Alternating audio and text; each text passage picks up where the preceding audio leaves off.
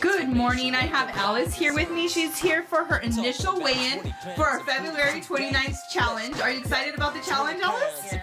Awesome. You're going to do amazing. Let's go ahead and get you on the scale so we can get your initial weight. Okay. 267.3 is your initial weight. Good morning. Here I have Alice with me, uh, just completed the February 29th challenge. Her initial weight was 267.3. She needs to get to 247.3. 245.1. Good morning, folks. We're here with Alice, ready to do her final win for her April 18th six week challenge. Are you ready? All right, let's on the scale.